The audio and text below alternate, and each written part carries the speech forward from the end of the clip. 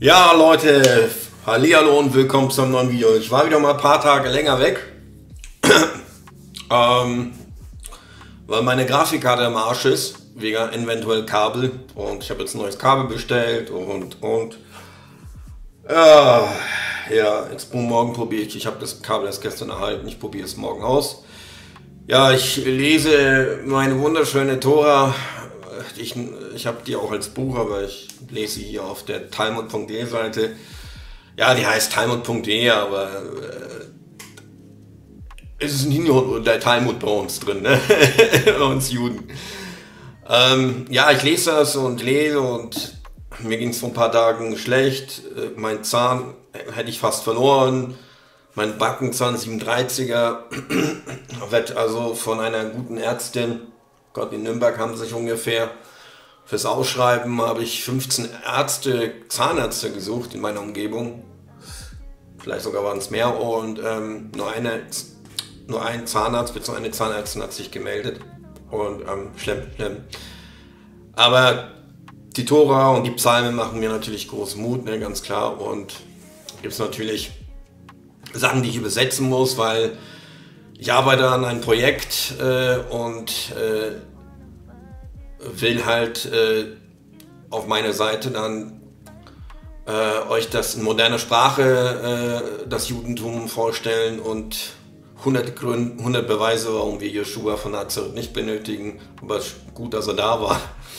Und ja, und das Ganze mit, mit, den, mit den Sachen halt immer ist das Problem, dass wir halt auch äh, ab und zu mal was schauen. Als YouTuber schaue ich auch und als ganz normaler Bürger. Und ähm, ja, dann äh, bekomme ich wieder, äh, weil ich jetzt mal verstummte Superhelden spiele, und dann bekomme ich einige so wegen meinem ehemaligen Film Video äh, zur AfD äh, immer irgendwas Negatives. Und da habe ich mir gedacht, naja, ich muss da Stellung dazu nehmen, das mache ich doch gerne. Ich verstehe nicht, warum die Leute, wenn sie irgendwann früher irgendwas gemacht haben, dass sie immer nicht dazu stehen und weglaufen. Das ist irgendwie neuerdings Mode oder Trend geworden. ähm, ja. Ich werde versuchen, das Video nicht länger zu halten, nur so kurz wie möglich. Danach werden wir äh, äh, die nächsten Tage Videos dazu bringen, werde ich rausbringen. Hm. Ich habe mein hochwertiges Mikrofon auch nicht angeschlossen momentan, deswegen hört man mich vielleicht nicht so. Das ist das Mikrofon von der Webcam. Äh, ja gut, lange Rede, kurz Sinn. Ich habe heute wieder was Neues äh, äh, äh, erhalten und ich dachte, das wäre neu. Das ist aber ein Beitrag von vier Monaten. Ich habe keine Ahnung, wann, warum Frontale was immer so spät alles gibt.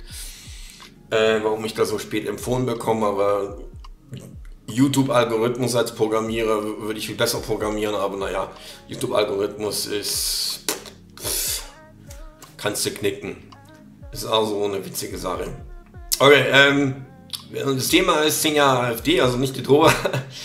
äh, die Gründer packen aus. Also ich habe mir das Video komplett angeschaut. Ich werde auch keine Reaktion drauf machen. Ich werde nur eine kurze Antwort darauf machen und ich werde versuchen in den nächsten Tagen auch so kurze Antworten äh, oder sagen wir mal so, so gut wie möglich äh, das äh, was Resümee zu den Berichten zu machen, weil Reaktionsvideos sind halt nicht originell und ich merke sowieso, sind keine so Klicks und Menschen können nicht lange zuschauen. Menschen sind nicht so wie ich. Super Edition können drei, vier Stunden schauen, das können die meisten nicht.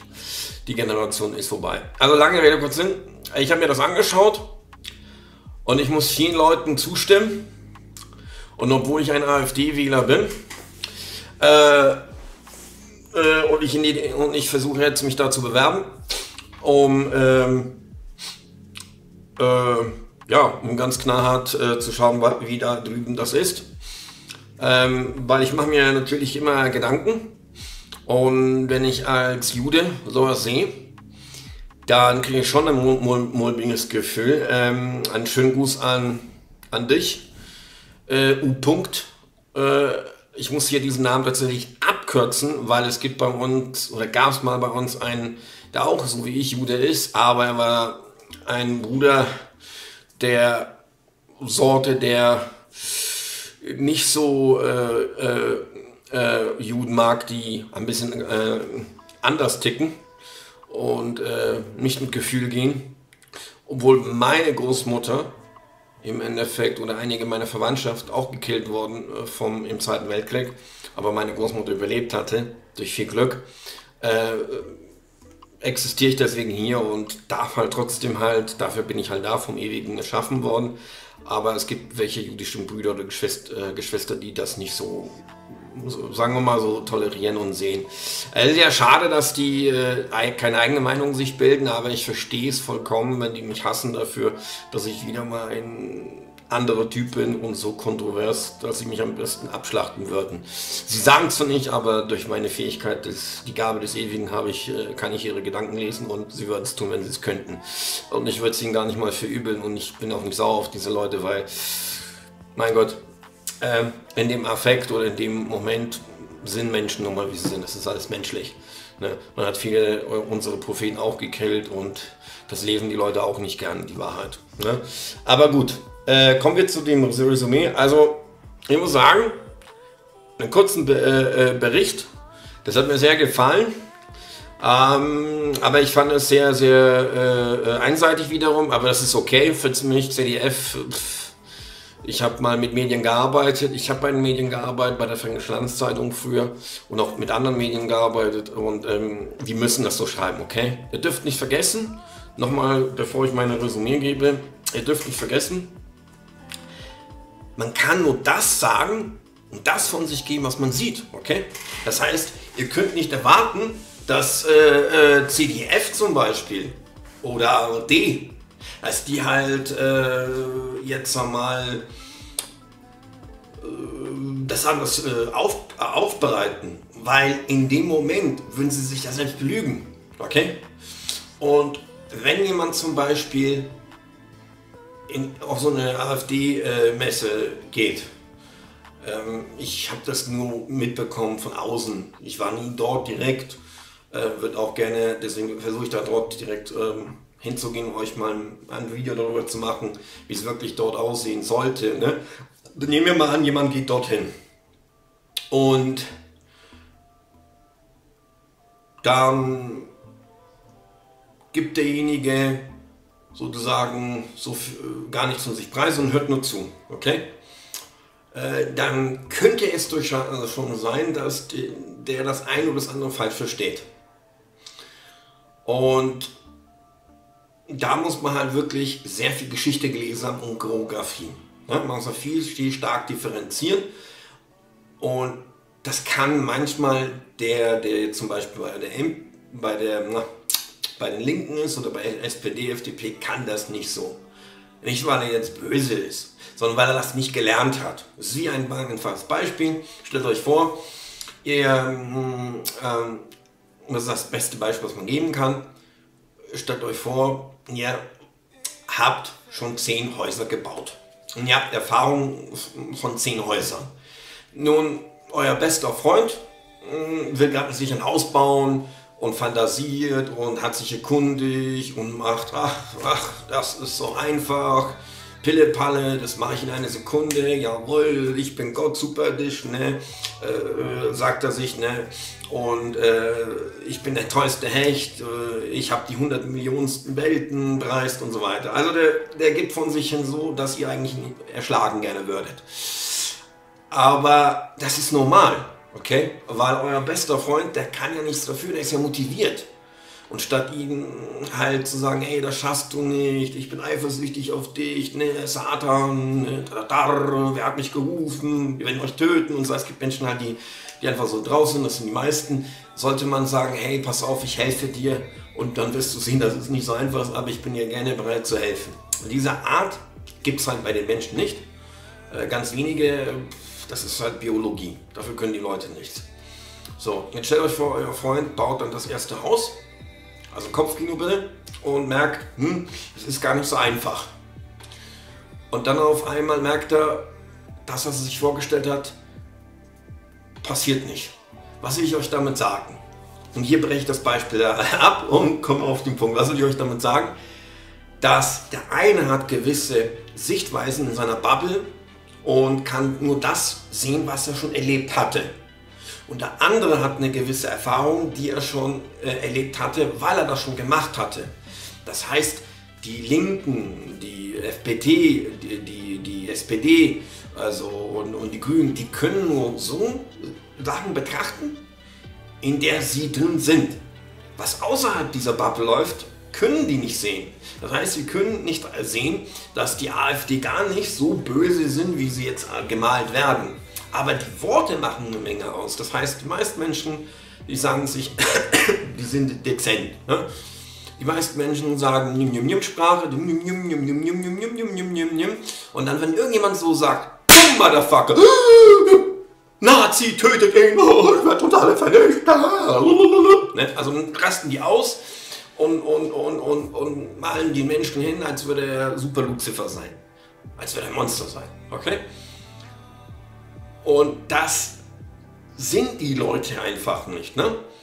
Aber, aber es wird halt so gemalt und es wird so manipuliert und das ist halt eben so, muss halt CDF handeln. Die können nichts dafür, also müssen so, okay? Und ähm, ich weiß noch damals, als mich die Kinder töten wollten, als ich in die erste Klasse reingekommen bin, so war schon im Kindergarten, dann später erste Klasse, da wollten sie mich töten im Kindergarten, weil ich ja Slavomir Anje heißt. Ja, also Slavomir Anje, und das ist ja nicht Deutsch, das ist nicht Arisch.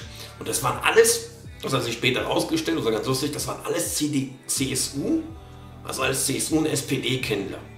Und die mich töten wollten. Und dann müsste man ja sagen, ja Moment mal, ja, wenn die CSU und die SPD-Kinder das machen wollten, dann sind ja Nazis, dann müssen sie eigentlich gerichtet werden. Aber so einfach ist das eben nicht. Die Kinder wiederum, die haben halt so beigebracht bekommen, alle, die nicht Arier sind. Ja, aber es war leider bei mir so.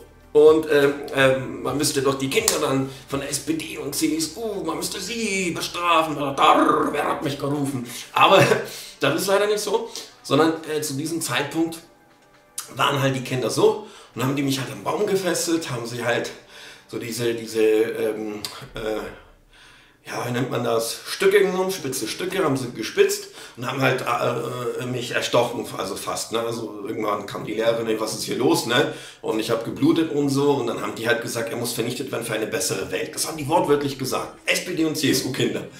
Okay, und ähm, da sagen wir, äh, hä, was ist das für verkehrte Welt? Was erzählst du? Das kann doch nicht sein. Da, da, Atombombe. ne, die Leute, die, die begreifen nicht und schon ne, werden sie verrückt. Aber das war halt so. Und ich verurteile die Kinder nicht. Ich habe ihn schon längst verziehen. Ne? Ich habe mir gedacht, oh, wir können ja nichts dafür. Also, Nazi, im Endeffekt, ist das Wort vom Kontext total falsch verstanden worden.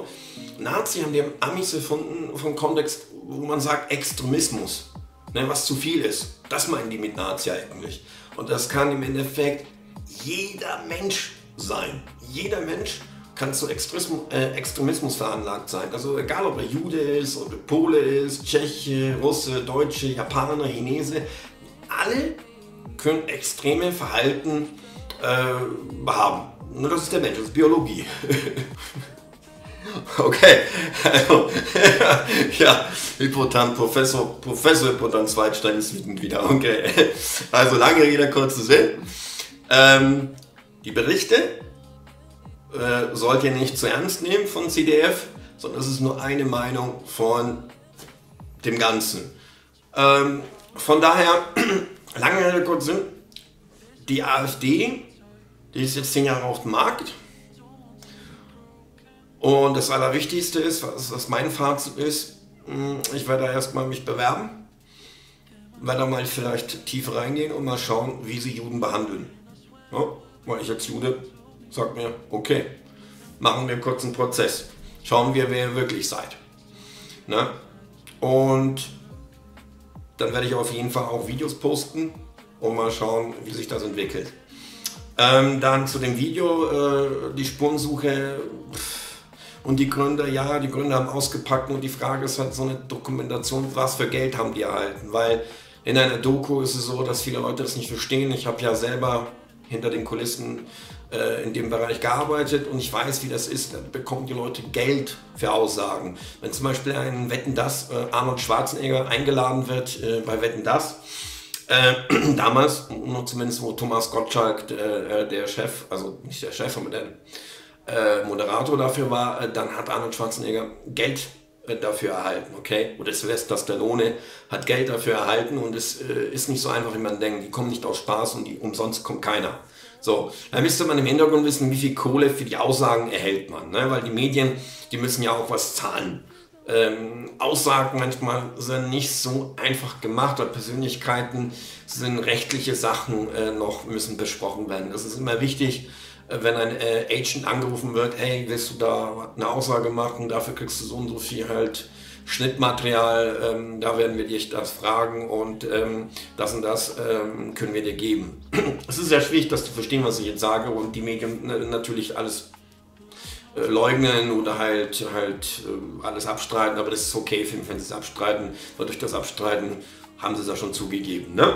So wie äh, die wunderschöne Frau, nicht die Frau, sondern diese süße Frau sagt, ja, sie hat es abgestritten, also hat sie es gemacht. Alles klar. Ne? Deswegen äh, muss nicht jemand äh, was abstreiten, wenn er was gemacht, äh, wenn er, also wenn er was nicht unterschreibt, heißt es nicht, dass er der Böse ist, okay? Äh, weil oft äh, sind so alte staatliche Versicherungen äh, mit Klauseln verbunden und es ist nicht so easy peasy, man trägt nicht alles, was da drin steht. Alte staatliche Versicherungen können manchmal negative Auswirkungen haben äh, für einen Mandanten. Äh, wenn der Mandant zum Beispiel das unterschreibt, ohne seinen Anwalt äh, oder seine Anwältin zu konsultieren, dann das, ist das, warum. Ich kann euch erklären, warum sie es nicht unterschrieben hat, okay? was aus einer juristischen Perspektive. So, ähm, eine juristische Perspektive ist, es wäre total bescheuert, einfach jemanden das zu, zu geben und äh, zu konfrontieren. Warum? Selbst wenn die Person, das will ich nur abschließend nur sagen, das ist mir fertig mit dem Video, weil ich sehe schon, die Leute zittern schon und hippert dann Professor schon, aua, aua, er haut mich schon wieder, aua. ähm, genau, ähm, also, ich versuche es zu erklären, äh, so einfach wie möglich. Ne? Oh, weil also wenn, selbst wenn eine Person nichts zerbrochen hat, kann es negative Folgen haben. Okay? Immer. Weil du weißt ja nicht, was da drin steht. A, eine staatliche Versicherung und B, was die Medien im Hintergrund mit dir wirklich vorhaben, was sie damit bezwecken wollen, mit äh, so einem Hey, hier, da unterschreibt, du bist ein Mörder. Äh, wieso? Ich habe doch nichts gemacht. ne? Aber wir wissen es, was du gemacht hast, denn jemand anders hat eine staatliche Versicherung. Und das Witzige ist, der jemand anders ist noch verdeckt. Und hä, wieso ist der verdeckt, wenn er, wieso, hä, so verdeckt? Äh, Moment mal, wenn jemand dazu steht, dass er denjenigen kennt, dann soll er sich offenbaren, steht in der Tora drin und nicht Feigling sein und so, das ist so hinterlistig ohne Ende, das, ne, also da müsste er schon äh, Fragezeichen kommen, ey, was ist denn hier los, ne? so, und ähm, das ist der eine Punkt. Der zweite Punkt ist, im juristischen Bereich wird dann einfach äh, der Anwalt konsultiert oder die Anwältin. Ne? Und ähm, dann kann dann die Person, die juristische Person dann sagen, okay, können wir machen, machen wir mit, segnen wir ab oder nicht.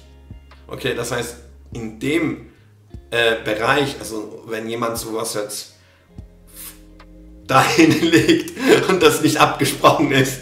Wirklich alles ist abgesprochen in Dokus, das meiste davon. sonst, sonst wirst du erledigt sein, sonst wirst du verklagt. okay, äh, ich versuche mich zu beherrschen, weil ich habe sehr viel Wissen und, und ich habe zu viel Wissen, sagt der Renne. Und äh, ich, äh, für mich sind die Menschen wie Babys. Und deswegen lache ich immer, weil ich sage, ey, es gibt's doch nicht, dass man so ein Grundwissen nicht, äh, nicht hat. Und ja, jetzt habe ich wieder was im Auge. Oh Gott. Ich, ich kann immer. Ich hab. Äh, ich hab. Wenn ich in der Synagoge bin oder in der Schule war, dann haben die Leute gefragt, hat der, hat der Andreas recht? Ne? Und dann sagte, ja, ja, hat recht. Und hat ständig recht. Egal wo, weil ich kenne ja die Tora. Lese, das ist mein Lieblingsbuch. Und den Talmud und die Mitrash und so weiter. Und die Tanach. Und ich liebe die Geschichten. Ne? Und, oh. Oh, so lustig ist das. Und wenn du zu viel Wissen hast, äh, Infinity bist, dann ist das wie, als würden alle Menschen Babys sein. Ne, das sind selbst erwachsene Menschen für mich, erwachsene Frauen, erwachsene Männer sind wie kleine Kuscheltiere, wie Plüschtiere. Einfach nur zum Backen knuffen und fertig. Ne? Wie kleine dreijährige Kinder. Die meinen, sie haben die Welt gesehen und dabei sind sie noch sehr, sehr unerfahren. Oh Mann. Okay, also, äh, wo waren wir? Genau. also, der Anwalt oder die Anwältin, die müssen das absegnen. Du kannst nicht einfach Material einfach äh, zeigen und pressemäßig, das geht nicht. Ne? Das, das geht alles nicht. So, und zum Schluss halt noch, dass Alice Weidel halt, äh, man sagt ja, wenn sie da nichts dagegen hat, dann hätte sie das unterschreiben können. Das ist, wie gesagt, was ich vorher erwähnt habe, ja, rein juristisch gesehen her nicht möglich. Okay? Und darum hat sie es. Äh, oh Gott. Oh Mann, du musst mich wieder beruhigen. Und darum hat sie, hat sie es nicht gemacht. Okay? Also lange Rede, kurzer Sinn. Wir können nichts unterschreiben, was nicht abgesegnet ist. Zweitens, man kann niemand irgendetwas vorsetzen. Ne? Also so hier unterschreibt das, ohne dass die Person die Möglichkeit hat, äh, sich zu informieren. Politiker oder Politikerinnen oder äh, egal wer, außer Anwälte, selbst Anwälte müssen sich absichern juristisch. Und das ist der Grund, warum sie es nicht unterschrieben hat. Das ist der einzige Grund, warum sie es nicht unterschrieben hat und warum halt die äh, Frau, äh, die äh, süße Frau hier, einfach nur Blödsinn, ich weiß es nicht ihren Namen wieder, ist egal, einfach nur Blödsinn daher spricht ne? oder redet. Das ist einfach Blödsinn. Ja, es ist einfach so, wir leben in einem Rechtsstaat, wir leben in Deutschland und da wird alles äh, per Text festgehalten. So. Und äh, mehr will ich auch jetzt nicht sagen, weil sonst wenn äh, wenn die, weil die Leute, die kein Grundwissen haben äh, und das äh, nicht gelernt haben wie ich, äh, das macht keinen Sinn. Schreibt es einfach in die fucking Kommentare rein, wenn ihr Fragen habt zu Jura-Sachen oder sonstige Sachen oder Themen, die euch irgendwie einfallen oder die Videos, die ich dazu machen soll, ist von mir aus von Maurer bis zum Dachdecker oder Zimmerer. Ich weiß alles fast Super Edition durch den ewigen Matrix Super. Ich kann super Kung Fu. Ne? Einfach reinschreiben, dann kann ich euch das äh, beantworten. Ne? Aber es gibt wie gesagt äh, Regeln und deswegen hat es das halt nicht gemacht. Und ja, ach genau noch zu, äh, zu, zu diesen ähm, zum Schluss zu diesem äh, Fazit äh, von den AfD-Mitbegründern oder Gründern, ähm, dass die besorgt sind. Das, das wissen wir nicht, ob das wirklich ihre Gedanken sind oder ob das Gedanken sind nur für die Show. Ne? Weil ganz ehrlich, äh, wenn die so besorgt gewesen sind, warum haben sie sich nicht früher gemeldet? Ne? Und warum erst jetzt? Dann gibt es immer halt so, so Punkte, wo ich sage, Alter, äh, wenn du früher von äh, Leuten gekillt worden fast wärst, dann hättest du früher doch etwas erzählt. Ne? Also jemand will sich halt wichtig machen, jemand will eine Story haben oder will seinen Ruf reinwaschen. Ne? Das ist halt immer das Problem. Wir haben das mit, wir sehen das bei so vielen Leuten, die der eine sagt was gegen äh, äh, Homosexuelle äh, vor zehn Jahren und heute ist er äh, homosexuell geworden, um ja nicht ein negatives Aussehen zu haben. Also es gibt wirklich kranke, verrückte Sachen. Da muss man halt wirklich aufpassen. Weil früher noch vor 20 Jahren sagte eine, hey, Terminator ist super schlecht, Arnold Schwarzenegger ist eine Lusche und äh, zehn Jahre später äh, ist er sein bester Freund. Ne? Man muss halt wirklich den Menschen analysieren und ganz genau darauf achten, wie der Mensch und weshalb, was für Nutzen hat. Motiv, genau. Motiv nennt man das. Bei der polizeilichen Arbeit nennt man das immer Motiv. Oder bei der Detektivarbeit, die polizeiliche Kriminalpolizei sagt halt, äh, ne, ich habe mich damals schlau gemacht, weil ich mich bei der Polizei für bewerben wollte. Nur leider sind die antisemitisch wie bis zum Geht nicht mehr.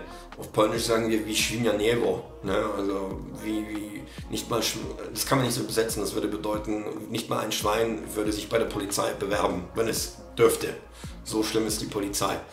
Also rassistisch ist ohne Ende in der Polizei und äh, antisemitisch äh, bis zum geht nicht mehr. Natürlich würden sie das, was ich hier sage, diffamieren. Sie müssen es. Ne? sie müssen es, sonst sind sie gefickt. Ähm, und deswegen da auch müsste man schauen halt, welche, was will derjenige sich reinwaschen, was sind seine Hintergründe, was sind die Motive von jemandem, was will er damit bezwecken und so. Ich will euch noch aufklären. Ich will damit gar nichts bezwecken. Äh, ich bin ein, ein Typ, der einfach meine eigenen Probleme hat, so wie Sergio, Men Sergio Menga sehr gut sagt. Und ich habe einfach, wenn ich ab und zu mal was sehe, was mich interessiert, mache ich dazu ein Video.